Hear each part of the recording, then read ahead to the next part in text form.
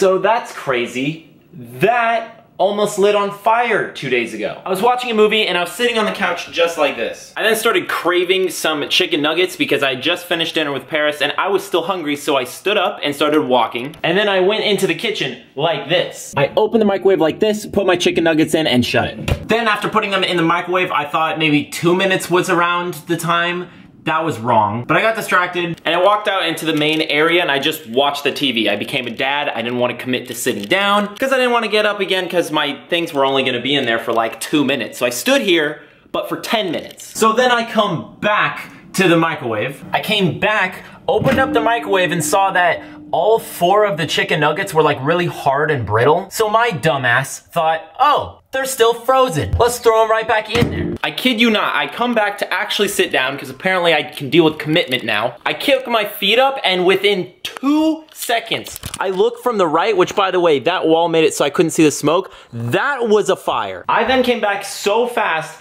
I didn't even think to pick up my camera. I'm really pissed because this whole thing was smoke. You couldn't even, it looked like there was a smoke machine inside of the thing. I took a picture because like two of the chicken nuggets were like fried, like they were on fire, they were burned. So I immediately stopped the microwave and I totally thought the fire alarm was gonna go off, which I couldn't be asked to do if it was 9 p.m. Thankfully it didn't because me and Paris were blowing away the smoke with towels, with the door open and the window open. And then the smell lingered in the goddamn microwave for probably three days. It actually still smells like it, like right now. So newsflash, don't put anything in the microwave for three minutes unless it's like soup.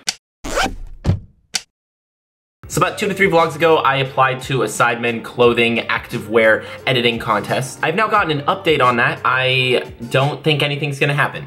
Um, I reached out to the main person who, Con, who is doing it on Twitter, and it turns out he's not gonna be doing anything for it. Um, so that's kind of an L because I thought I actually did something. But what I ended up finding is Cody Ko actually has a Notion page where he's hiring for multiple positions. And the one position that is actually still available as of today is gonna be the graphic designer slash thumbnail designer, which I have experience in but not like photo manipulation. I'm actually kind of weak at that. Like in my portfolio, it's all cartoony, vector-based, typography-based, like a lot of work like that. So I'm gonna go and apply to this. Basically, I just have to pick an old thumbnail from an older video he had and basically email or DM his manager about a newer version that I made. So first I'm gonna have to select the thumbnail, which by looking through the channel, I'm thinking that one kind of stands out for obvious reasons. Just scrubbing through the video, I think I'm gonna pick this. This ice thing falls on this and it breaks, which then prompts him to have like a crazy reaction, which is also in the beginning of the video, so the promise of that being in the thumbnail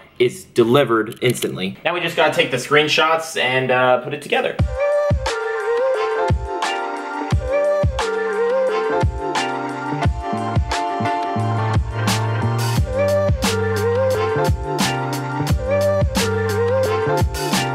Okay, so I ended up making a couple versions of two thumbnails instead of one. The first one was because there was a good before and after of something falling, but the entire background when you zoom out is all white. So from afar on a phone, I don't think it would be great. But again, it also shows my inclusion of typography and the reaction and, you know, that composition. The second thumbnail I did was for the video where I thought the thumbnail was much weaker, which also makes it look better if I come up with something strong. So there are a couple of versions for this. The first version had just kind of like some fan art in the subreddit because that's what he's doing in the video just on the right side. Then I looked through some of his videos where he would have an outer glow of a white stroke around it, so then I had that incorporated in the second one. So now I'm gonna send both of these two to his producer and kind of just like the last job application, let's hope this works.